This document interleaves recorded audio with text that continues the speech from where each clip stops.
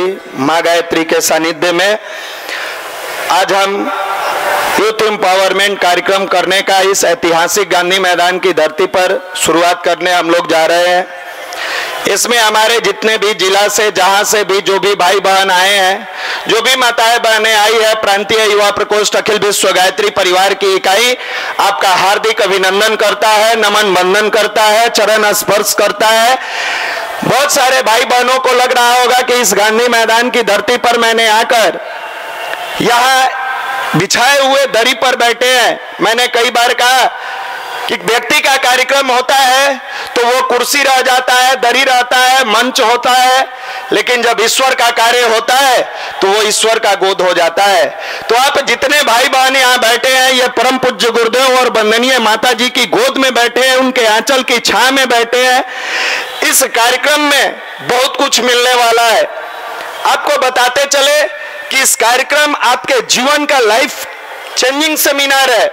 जो भी हमारे माताएँ, बहनें आई हैं भाई बहन आए हैं, अभी बहुत सारे भाई आ रहे हैं। लोगों को लगता है कि ये गायत्री परिवार, युवा प्रकोष्ठ जाएँगे इस कार्यक्रम में क्या देगा, कैसे देगा, क्या मिलेगा हमें?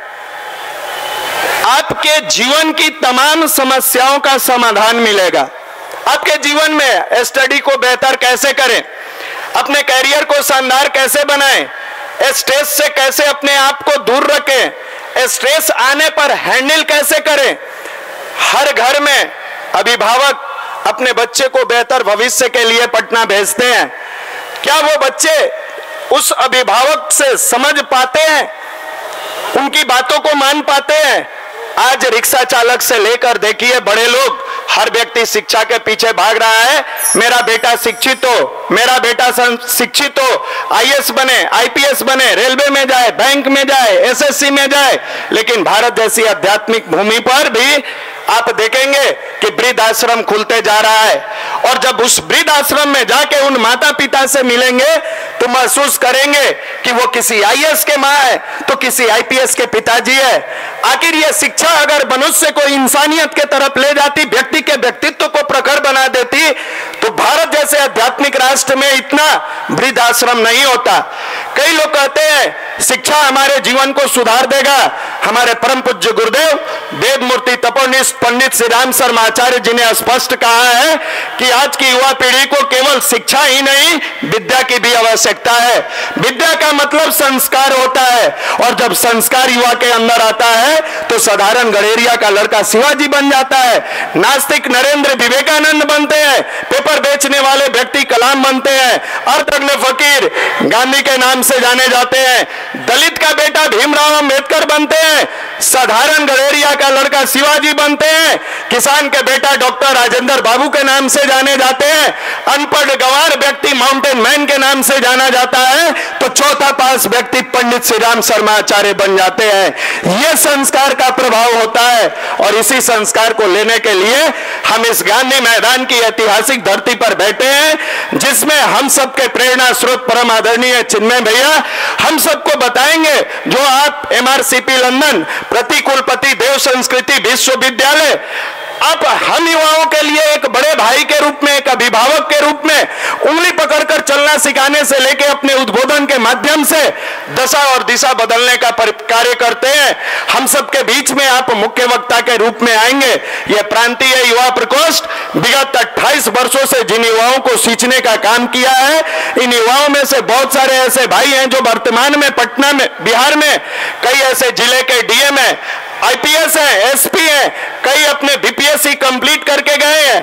कई भाई रेलवे के बड़े पदाधिकारी हैं। कई भाई ऐसे हैं जो एमबीबीएस डॉक्टर हैं। कई भाई रेलवे में है एसएससी में है बैंक में है सीपीओ में है सीपीएस पटना के, बिहार के तमाम जिला, पटना के मैक्सिमम आप जब जाकर देखेंगे, ब्रांच में बैंक के ब्रांच में अपने भाई बहन है, उनमें से कुछ भाइयों को हम आपके सामने भी दिखाएँगे अपने सफल प्रतिभागी के रूप में कि यह गायत्री मंत्र केवल व्यक्ति के जीवन को परिवर्तित नहीं करता है यह गायत्री मंत्र जब युवाओं के कलम में आग भरता है तो किसान का बेटा आई बन जाता है। साधारण से परिवार में जन्म लेने वाले का बेटा डिस्ट्रिक्ट जज बनते हैं, कोई बैंक में जाता है, कोई रेलवे में जाता है, वेद में लिखा गया है यह गायत्री मंत्र, आयु प्राणम प्रजा पशु कीर्ति द्रविड़म ब्रह्मचर मयम दत्वा प्रजत ब्रह्म लोकम मेरे मित्र यह तय करना है कि आपने जीवन में बहुत सारा आईपीएल का मैच देखा, घंटों देखा, टेस्ट मैच देखा, लंबे समय तक आपने सिनेमा हॉल में समय बिताया ये भगवान की गोद का एक दिन का समय अगर आप साकार कर लेते हैं तो आपके माता पिता धन्य हो जाते हैं, जिसने बचपन में आपको उंगली पकड़कर चलना सिखाया था। गोद में बैठाकर दुनिया दिखाई थी जो माता पिता धन्य हो जाएँगे, जो कभी मुस्कुराते हुए कहते हैं, हताशा, निराशा के उस दौर में अपने बच्चे का चेहरा देख के, अपने औलाद और संतान का चेहरा देख के, तुझे सूरज कहूँ या चंदा, तुझे दीप कहूँ या तारा, मेरा नाम करेगा रोशन जग में मेरा राज दुलारा उनका जीवन धन्य हो जाएगा, जहाँ वर्तमान समय में पदाधिकारी बन के लोग अपने माता पिता को पेरेंट्स हाउस में भेजते हैं, वैसी स्थिति में आप अपने पिता को बुढ़ापे में दो वक्त की रोटी और समय पर दवा की व्यवस्था बना देंगे। उन्हीं लोगों के लिए कहा गया है, प्यार से, स्नेह से, जिनको पाल पोस के, जिन्होंने पाल पोस कर आपको बड़ा किया है, उन्हीं लोगों के लिए कहा गया है, उनकी माताएँ मन में भाव से ये संवारती और सजाते हुए कहती है, और वो बच्चे भी उन्हें भाव से समर्पित होकर कहते हैं, तेरे दामन में लाखों सितारे होंगे तो होंगे है फलक, मुझे मेरी माँ की मैली ओढ़नी अच्छी लगती है। मेरी माँ की मैली आंचल अच्छी लगती है। उन बच्चों के लिए जो दो वक्त का निवाला दिलाते हैं, प्यार से भोजन कराते हैं तो भाव भरा निवेदन है कि भगवान के कार्यक्रम में बैठने वाले कभी उबते नहीं है। ईश्वर के पास कोई उबता नहीं है। कई भाई कहते हैं, मेरे पास टाइम नहीं है। निमंत्रण तो लाखों लोगों को दिया गया था। जब राम का भी अभियान था तो बंदर भालुओं के पहले बड़े बड़े राजे राजवाओं निमंत्रण दिया गया। उस निमंत्रण में लोगों ने कहा, मेरे पास टाइम नहीं है। मेरे मित्र, ईश्वर की कृपा जिस पर होती है वही इस तरह के कार्यक्रम में शामिल होते हैं, वरना बिहार की भूमि पर, अश्लीलता की संगीतों में हज़ारों लोग जुट जाते हैं, लेकिन जीवन की सफल दिशा और दशा बदलने के लिए मुट्ठी भर लोग आते हैं, क्योंकि बीज थोड़ा होता है, उससे फ़सल का गुना बनाया जाता है, ये सामने बीज बैठा हुआ है। अपने आप को धन्य मानेंगे, अपने परिवार को, अपने कुल को धन्य मानेंगे कि आप इस तरह के कार्यक्रम में आकर शामिल हुए हैं।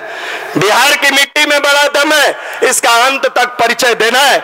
इसी भूमि से एक किसान का बेटा अपनी कलम की ताकत को इतना मज़बूत बनाते हैं कि गांधी जैसे व्यक्तित्व के धनी व्यक्ति को पत्र लिखकर भेजना पड़ता है कि, बाबू राजेंद्र बाबू, आपके देश की आज़ादी में महती आवश्यकता है। मुझे मालूम है कि आपके परिवार में आपकी भी इस देश से अधिक आवश्यकता है। लेकिन आप जैसे पढ़े लिखे लोग, अगर समाज की दशा और दिशा बदलने में कार्य नहीं करेंगे तो ये देश गुलाम रह जाएगा। आ इसी राज्य के राजेंद्र बाबू अपनी माँ से करबद्ध प्रार्थना हुए कहते हैं, माँ, मुझे मालूम है कि मेरे जाने के बाद तेरी ज़िंदगी में बहुत कष्ट आएँगे। लेकिन एक माँ अगर कष्ट झेलती है और लाखों माताएँ इस भारत माँ की गोद में आज़ाद हो जाती है तो मुझे माफ़ करना, मैं भारत माँ को आज़ाद करने जा रहा हूँ।